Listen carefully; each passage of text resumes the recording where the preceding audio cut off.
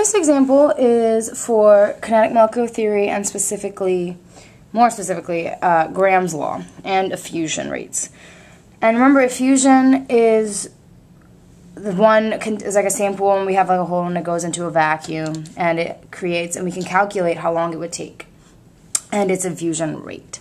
And remember it's just with effusion so we know that a sample of dinitrogen oxide effuses from a container in 42 seconds how long would the same amount of iodine gas take to effuse from the same container under the same conditions so we have Graham's law, right? We've been given time, which is can be converted to a rate, and we are looking for the iodine's gases uh, time to do the same thing. So we're going to use Graham's law, which, if you recall, is rate of A over rate of B equals the square root of the molar mass of B over the molar mass of A.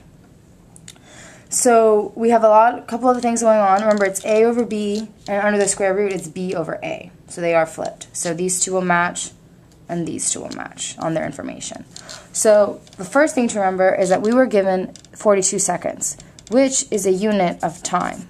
That's not a unit, it's not a rate exactly. So we have to make the unit of time into a rate. And we're trying to find time for the second one. So it's going to get a little, we have to just be careful with our units on this side.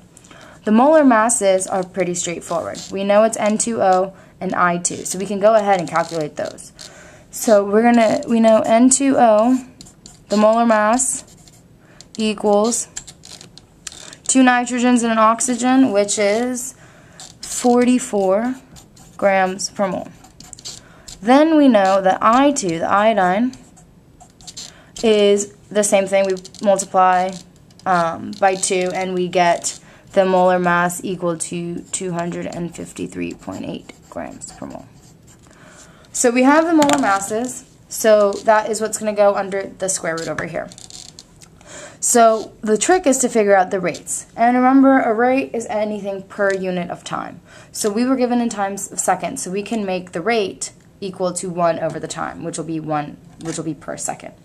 So let's fill in this side of the formula because we know what it is we're going to fill in. We can assign A and B anything we want to be in these two. We just need to be consistent. So I'm going to make N2OA and iodine B. So for B, we're going to have to put in iodine. So we're going to put in 253.8 grams per mole and 44 grams per mole. So we have the B and the A covered. So now remember on this side, it's the reciprocal of that for the information. So what is our rate of A? Our rate for nitrogen, dinitrogen oxide is 1 over 42 seconds. That's our rate per unit of time. We need to find the time for iodine. So it's also the same way. We're going to be solving for 1 over its time. So in this, we are solving for T. Now, there's several ways you could have set that up and several ways to go about it from this way.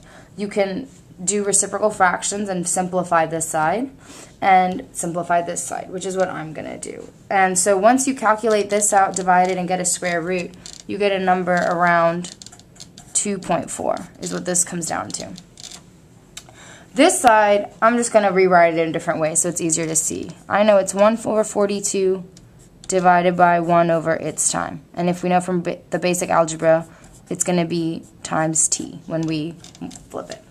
Right? So now we have this side, t over 42 seconds is equal to 2.4. So now cross multiply and divide, and we get a time of around 100 seconds. So it would take iodine 100 seconds to go to do the same thing that dinitrogen oxide did in 42. Now remember, we are the trick to this is it's a rate, so we need it to be in per unit of time. So a rate will equal 1 over a unit of time. It could be per hour, it could be per minute. It depends on the problem, but a rate is essentially per unit of time. And remember on this side, it's the opposite. So these connect and these connect. And now this, it's just division, 1 over 42 divided by 1 over t. Um, you can have a variety of things. You might be solving for a molar mass, but be given a time here. So it's just going to be solving for one of these four variables.